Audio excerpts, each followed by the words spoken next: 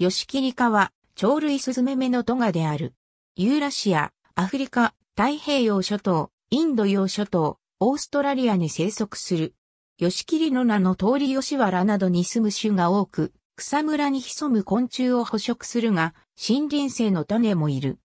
系統樹の科間は、 Johansson et al.、 Irestedt et al.、 Alström et al.、科内は、 Fregin et al.、より、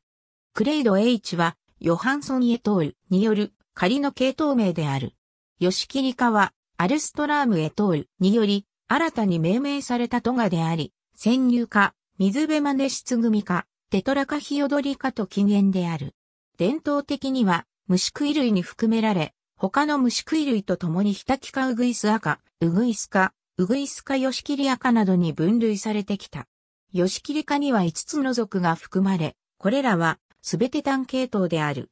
かつては、ヨシキリ科の属の多くは、非単系統だったが、多系統だった、ウタイムシクイ属ヒッパレイの一部を、イズナ属に分離し、さらにイズナ属に、黄色虫食い族クローレピータとハシブトウをヨシキリ A、アイドンを移すことで、それぞれの族は単系統となった。ハシブトウヨシキリは、単型族フラガマティッコラとする説もある。ヨシキリ族は多様性が大きいため、カラマジェス族とノーシャシクラ族、さらにカラモシクラ族を分割する説もある。